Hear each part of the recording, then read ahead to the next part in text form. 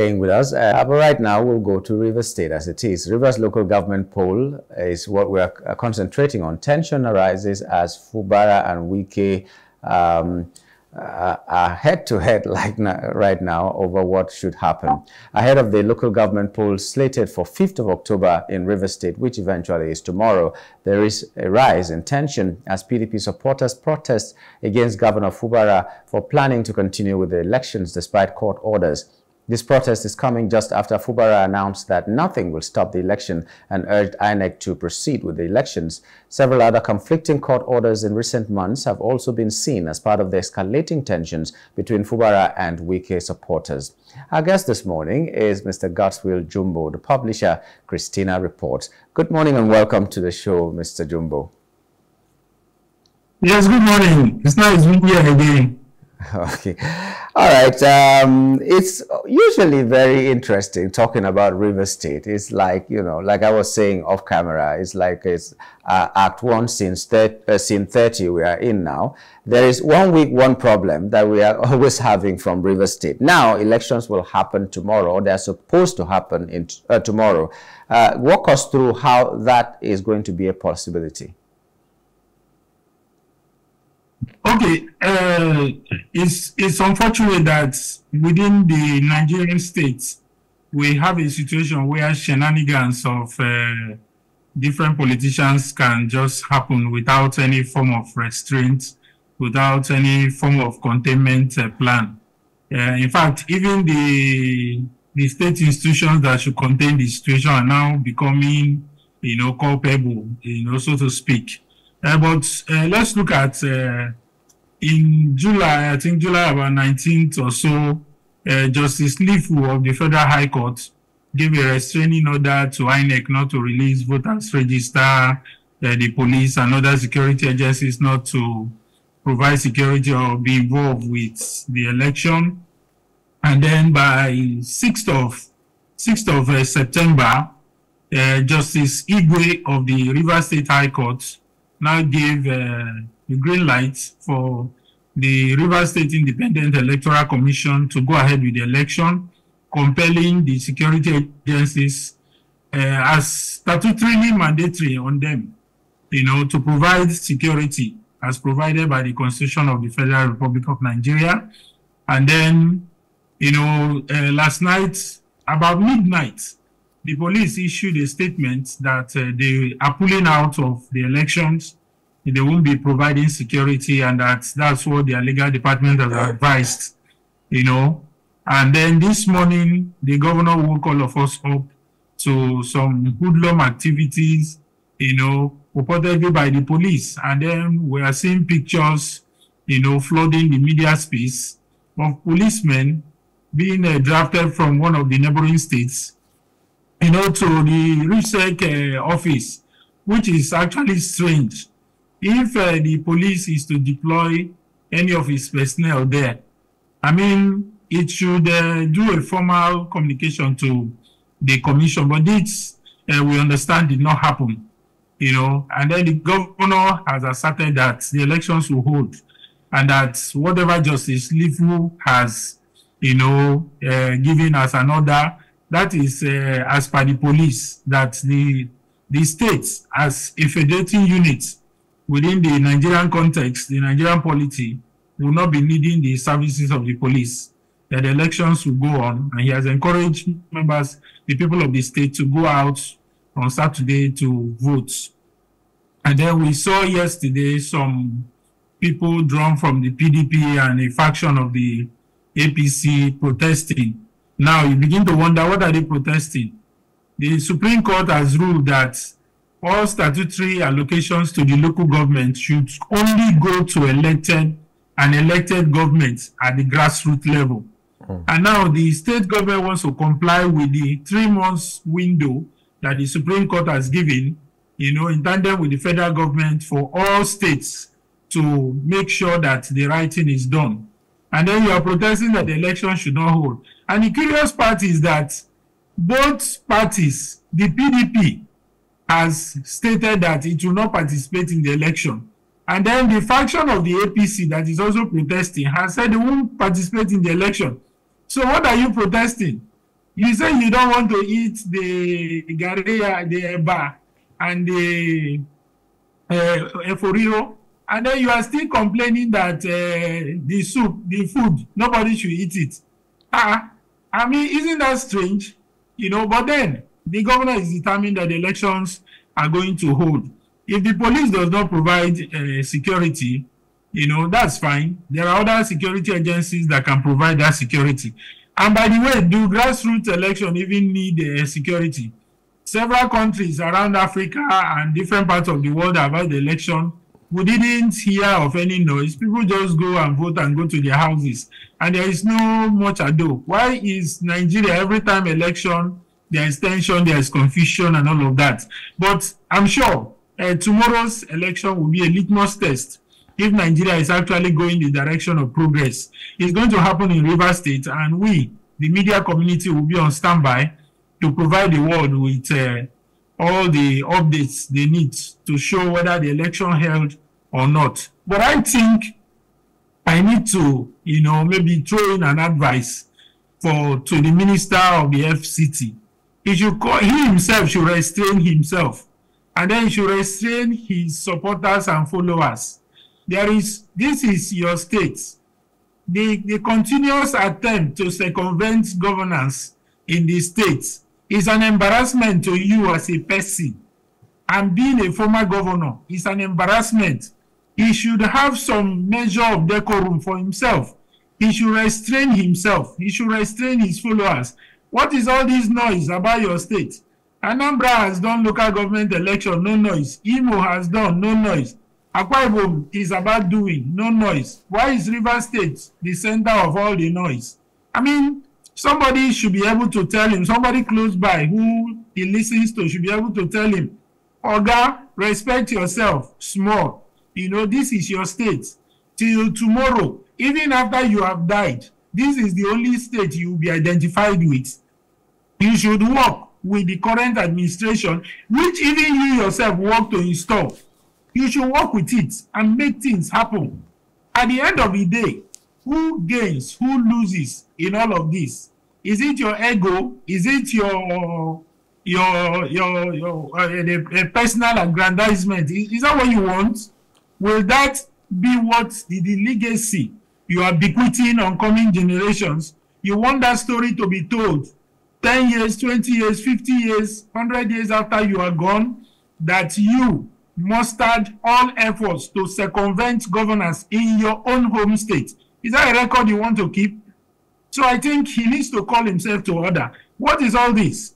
You know, and but then for the people of the state, it's time to show their resolve. At the end of the day, democracy is about the people. And the people of River State should be able to show that this is their state. They should own the process. Own it's not about the governor and about his uh, political godfather.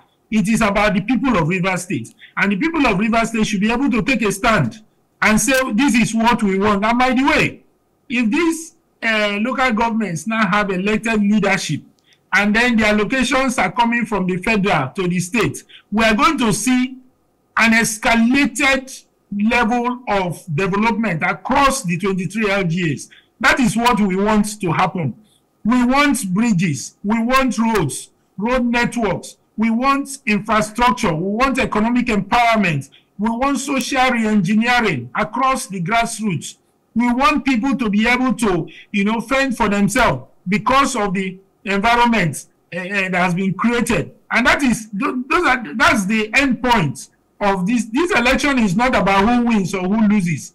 It's about the people. It is about creating a situation where the lives of the people are improved upon, and which is what the federal government is trying to do by isolating, you know, unlike before, isolating the funds accruable to the to the local governments so that they get direct to the people and they are able to benefit you know, the dividends of democracy, the benefits of good governance at the grassroots level. That's what should happen. So all this effort to circumvent that process is not patriotic.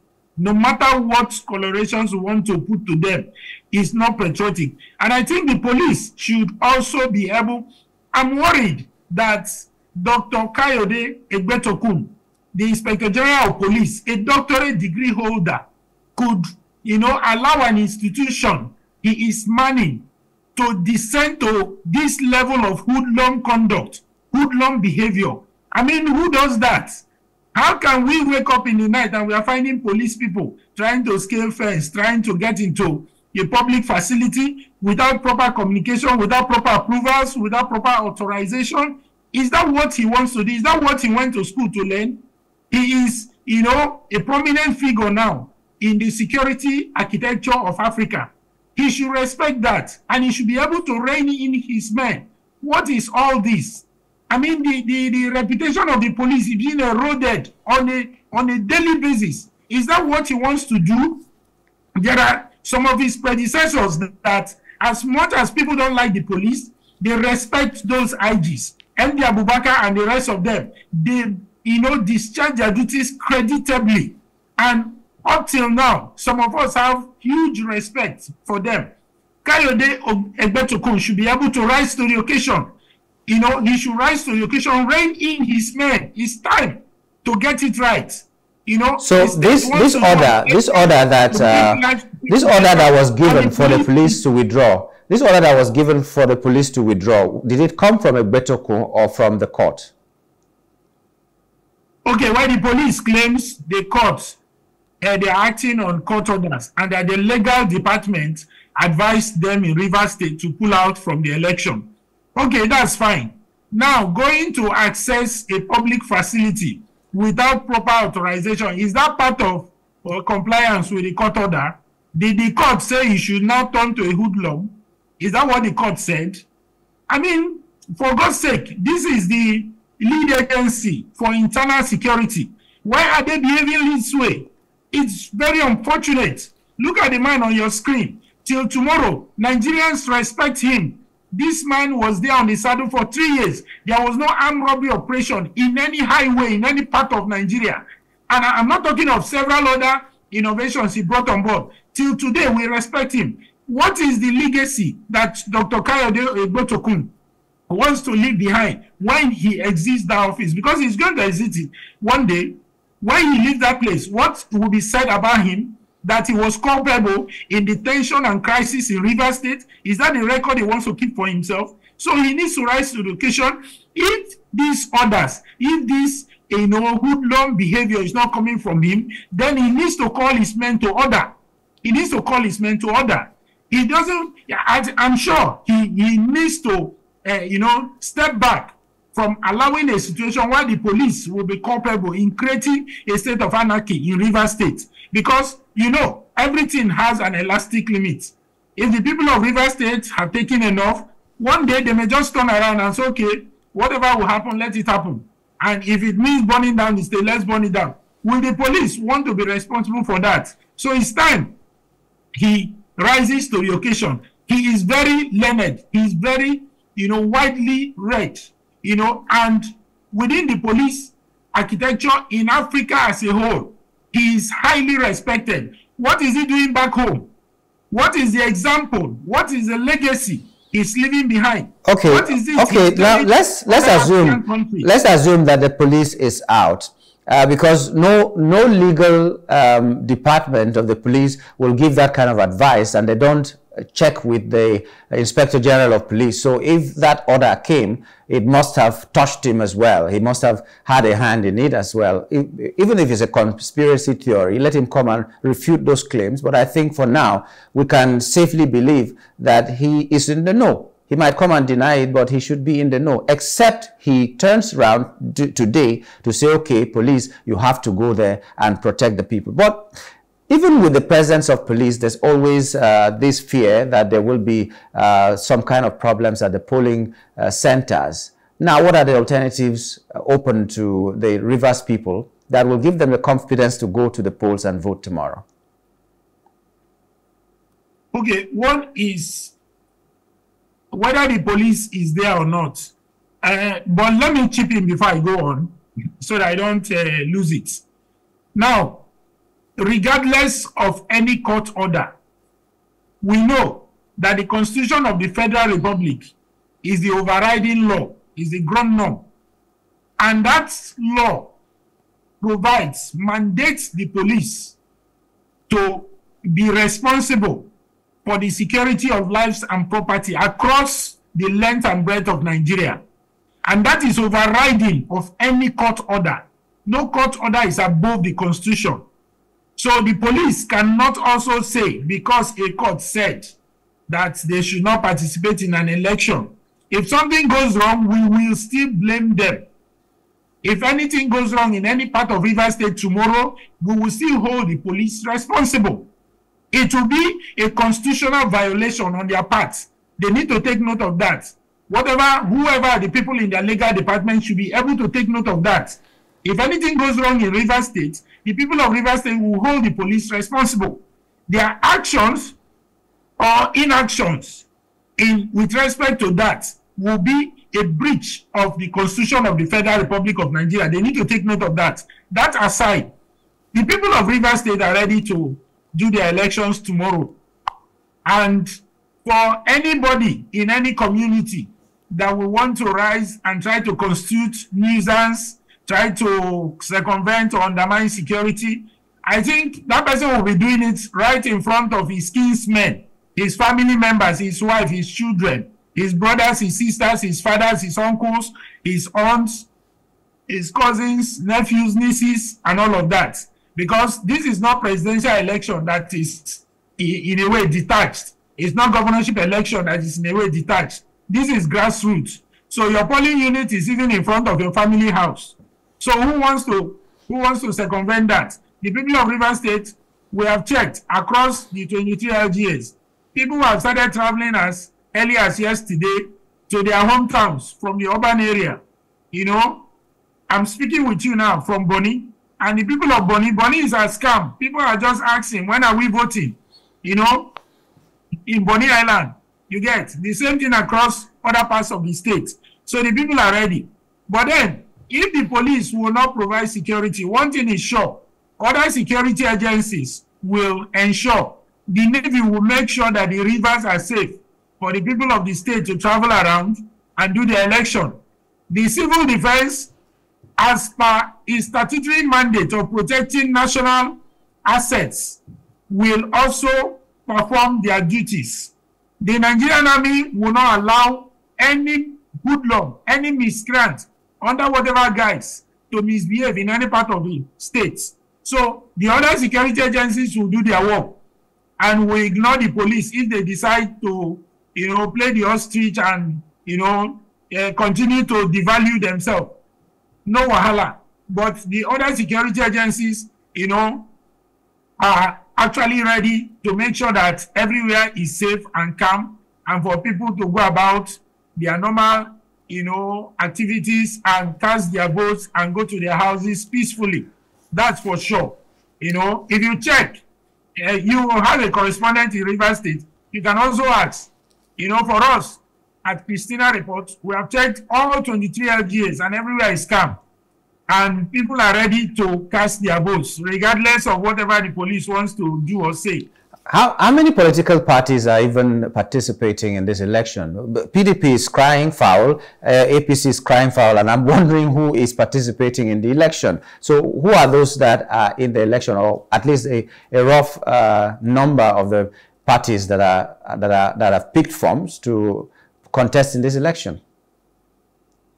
Okay, well, I am not too sure, but I think the River State Independent Electoral Commission uh, said about 18 political parties are contesting.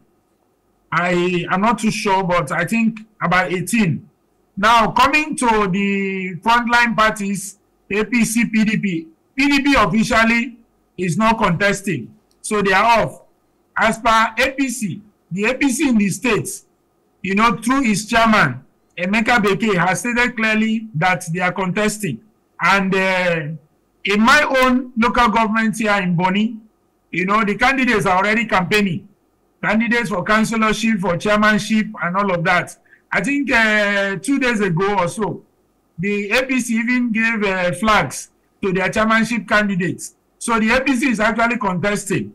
It's just the other a small uh, number of people who are lining up behind uh, the PDP, you know, uh, under uh, the former chief of staff to the governor.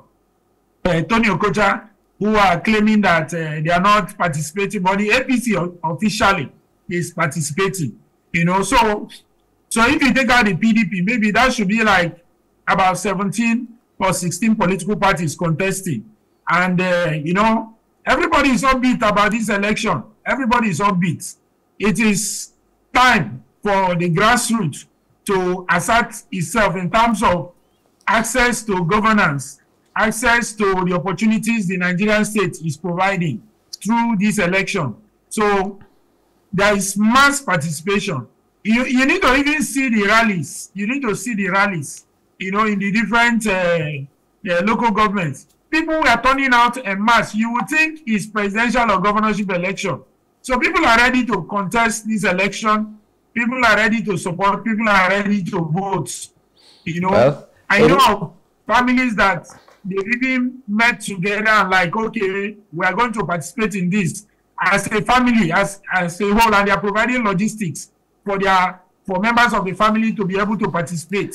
So it will, it will really it will really be interesting. Uh, this is the first time I think for me. I don't know if it has happened before that I'm seeing a sitting governor and his uh, political party is not participating in a local government election. It's usually that uh, his party will contest and um, uh, more, more, often than not, they will take all the seats in the state. But now PDP is not participating and the sitting governor is PDP. Interesting times.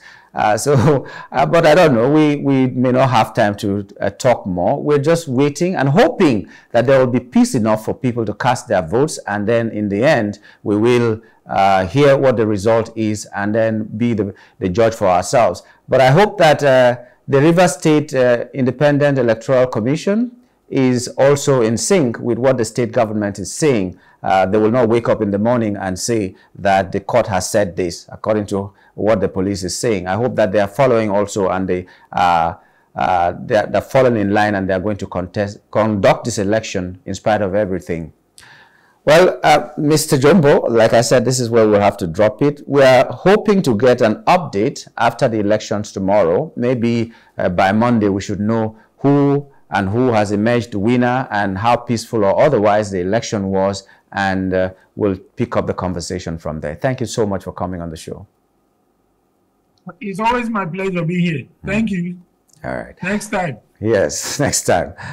We've been talking with Mr. Godswill Jumbo, publisher Kristina Reports, and we were looking at River State, uh, PDP, APC, uh, majorly uh, Wike, who is the FCT minister, and Fubara, who is the governor of River State. Uh, that's what the problem is. That's where the problem lies. Who is leading PDP in River State? So there's that fight, and now election will hold tomorrow. It's supposed to hold tomorrow, and the government the governor is insisting it will hold tomorrow.